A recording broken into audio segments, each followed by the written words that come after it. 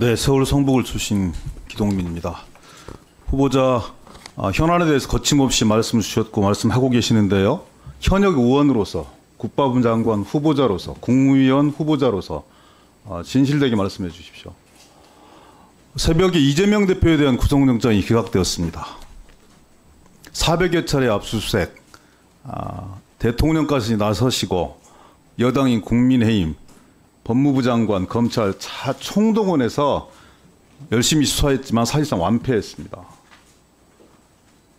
여기에 대해서 국민의힘 대변인이 뭐라고 논평하신지 아십니까? 개딸에 굴복한 법원 판결이다 이렇게 얘기했습니다. 집권 여당이 사법부의 판결을 존중하지 않고 있습니다. 어떻게 생각하십니까? 종ям 기동민 의원님 제가 현직의 의원이었으면 제가 의견을 거침없이 말씀 주셨잖아요. 이 타당한 접근이니까 적절합니까 아니, 이런 지- 논평이? 제가 국방부 장관 후보자 적절합니까? 국무위원 후보자잖아요. 네 그래서 정치적 어, 판단은 하지 않겠다는 말씀을 드리겠습니다. 정치적 판단을 하지 않아요? 아니 이 사안에 대해서 이렇게 집권 여당의 대변인이 사법부의 엄정한 판결에 대해서 판단에 대해서 개딸에 불급한 법원 판결이다 이런 부분들에 대해 판단이 없어요? 적절합니까? 어, 저는 그거에 대해서는 평가하지 않겠습니다. 다른 부분들에 대해서 많이 평가하시다. 아, 그건 과거에- 여쭤보겠습니다. 예. 박시만 씨와 6437기 동기죠. 네 그렇습니다. 친합니까? 친합니다. 지금도 만납니까? 네 아 결혼식 때 함진합이 말 역할까지 하셨나요? 예, 그렇습니다. 대단히 친한 거네요. 그 전까지는 안 친했는데 말씀을 드리면 그러면 누나회 멤버이시기도 하십니까? 누나해라고 하는 것은 존재하지 않는 없습니까? 예, 그냥 완전한? 완전한 가짜 뉴스입니다. 근데 왜 이런 얘기가 나왔겠어요? 뭐 그 나온 이유는 37기에 중장이 8명이 진급을 했죠. 그렇습니다. 대장이 3명이나 나오셨죠. 그리고 특별히 네. 친한 그 신원식 장군께서도 주요 보직들을 다 거치셨고 여러 가지 구설들도 있었고 이게 박지만 아, 전 회장과의 어떤 친분 관계 작용했다고 보십니까? 저는 그게 절대 아니라고 생각하고요. 네, 알겠습니다. 예, 제가 어, 저보다 훌륭한 동생이 많아서 세 분이 대장이 됐고 저는 그 아, 그분의 중간에 부족해서- 차별을 예, 받으셨다 이런 말씀이신데 그건 또 다른 차원의 문제니까요. 예. 유승민 전 대표 네, 지금 만나십니까? 안 만납니다. 왜 안 만납니까? 어, 유승민 대표 뭐의 관계를 제가 이게 말씀드리기가 그거는 적절치 않은데. 한때는 여야를 통틀어서 가장 훌륭한 대통령 후보라고 얘기하지 않았습니까? 네, 그 뒤로 제 예, 그때 그 처음에는 그렇게 판단했는데 어, 최근 1, 2년간 저하고 정책 생각이 좀 다르다고 생각을 해서 아니 유승민 대표의 그 안보 특별위원장도 하셨고, 아그 이게 이, 이 정책본부장까지 이렇게 진행하시면서 한때는 여야를 통틀어서 가장 훌륭한 대통령 후보다 이렇게 말씀을 주셨는데 지금은 유승민 대표가 잘 안 나가서 잘 못 나가서 안 만나시는 거예요? 세간에서 보기에는 그렇게 오해할 수도 있지 않겠습니까? 그럼 또 물어보겠습니다. 김용현 경호처장 친합니까? 이분 네, 육사 친합니다. 38기죠. 네, 친함 후배입니다. 그리고 합참 작전본부장도 하셨죠.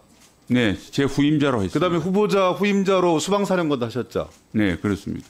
세간에 의하면 이분의 추천에 의해서 국방부 장관 후보자가 되었다 이렇게 얘기가 나오던데요. 사실입니까? 사실이 아닌 걸 알고 있습니다. 사실이 아니에요. 네. 뭐 또 더 나가 보면 이번에는 형님이 하시고 다음번엔 제가 하겠습니다 이런 얘기까지 떠든다는데 사실입니까?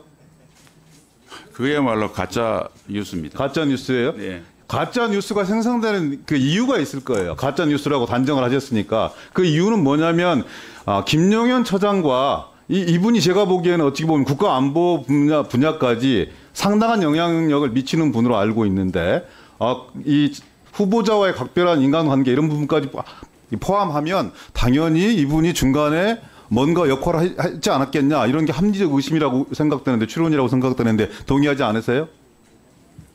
뭐 호사가들이 뭐 그렇게 포를 수도 그런 이야기를 만들어낼 수도 있겠지만 전혀 사실이 아니고 아 그래요? 제가- 그러면 네. 윤석열 전 대통령에 대해서 아, 대단히 박한 평가를 하셨었잖아요. 다시 못 들었습니다. 윤석열 대, 대통령에 대해서 후보자 시절에 그리고 대통령으로 취임한 이후에도 대단히 박하고 인색한 평가를 갖고 이- 계셨잖아요 후보자께서. 그것도 부정하십니까? 네, 한때는 유, 유승민 대표가 확인했듯이 군 미필자는 대통령 자격이 없다 이런 말씀까지 하셨잖아요. 네, 그런 말을 한 적이 근데 지금도 그 자- 생각 유효합니까? 아니면 생각이 바뀌었어요?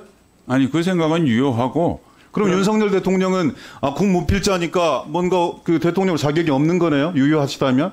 아니 그것만 볼 수 없고 그런데 그럼에도 불구하고 윤석열 대통령이 자신을 대통령으로 인정하지 않는 듯한 그런 발언을 했는데도 불구하고 국방부 장관 후보자로 낙점을 했다.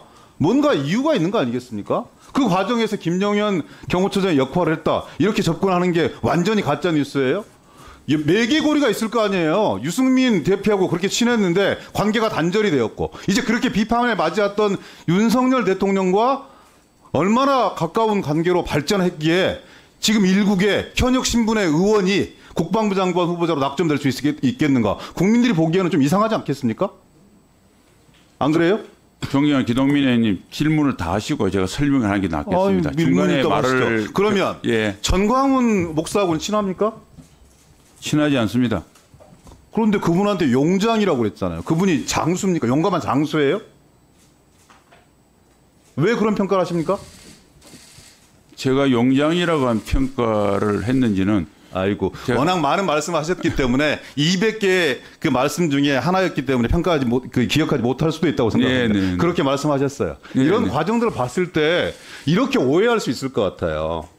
만약에 그 후보자께서 이런 평가를 받는다 억울하시겠지만 박지만에게는 박지만이 원하는 방향으로 유승민에게는 유승민이 원하는 모습으로 전광훈에게는 전광훈이 원하는 모습으로 윤석열에게는 윤석열 대통령이 원하는 모습으로 충성하려고 하는 거 아니냐.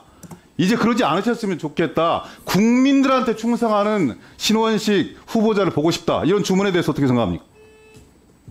예 국민들이 원하는 모습으로 하겠다고 하는 기동민 의원이 충정 어린 제언에 대해서는 제가 100% 수용합니다. 그런데 제가 앞에 있는 여러분을 언급하면서 맞췄다고 하는 것은 제가 그는 감히 사실이 아니라고 이야기 말씀드리고 싶고 사람의 어떤 행동이나 생각을 뭐 이렇게 드러내 보일 수 없으니까 제가 참 답답합니다만 저는 우리 기동민 의원님께서 3년 반 동안 저를 지켜봤는데 제가 그 정도로 세파에 여기 가고 저기 가고 한 모습을 안 했다고 하는데 안 했다고 생각하는데 그렇게 평가하셨으면 어 제가 잘못이 있다 부득이 소치로 보고 앞으로 그런 한 점의 의혹도 안 되도록 행동에 신중을 기하겠습니다. 다시 한번 제가 네. 사람입니다. 네. 지금도 그걸 의심하고 싶지 않습니다. 다만 세간에서 이런 질타와 비판과 평가가 있기 때문에 청문회 장에서 후보자께서는 감추지 않고 명명백백하게 사실대로 말씀을 주셔서 국민적 동의를 보여야 될 그런 의무가 있다. 독하게 질문하겠습니다. 독하게 답변하십시오. 예, 수고하셨습니다. 누님 이거는 국민의 알 권리 차원에서도 누님 해명하셔야 됩니다. 아, 목사님 진짜 놀랍네. 놀랍네. 놀랍네. 이명수 기자의 7시간 녹취록 실화 소설 세븐 스캔들 장작 6개월간 54차례 7시간 30분의 통화와 300통의 메시지에 이명수 기자에게 이중 스파이를 요구하는 김건희의 언론 포석과 국민들이 경악할 놀라운 세계관이 그대로 담겨져 있습니다. 누나한테 가면 얼마 주는 거야? 명수가 하는 만큼 줘야지. 잘하면 뭐 1억 줄수 있지. 영부인 김건희에 대한 검증은 계속되어야만 한다. 김건희의 거듭되는 보복 경고를 감수하고 국민의 알 권리를 위해 녹취를 공개한 이명수 기자. 하지만 정파와 언론사의 이해관계에 따라 녹취록 검증이 왜곡되면서 그 피해는 고스란히 국민들이 떠안게 되었습니다. 바로 7시간 녹취록이 반드시 모든 국민 앞에 재검증되어야 하는 이유입니다. 국민 여러분 적극적인 홍보와 협조를 부탁드립니다. 세븐 스캔들은 서울의 소리 홈페이지와 각종 온라인 오프라인 서점에서 구입하실 수 있습니다.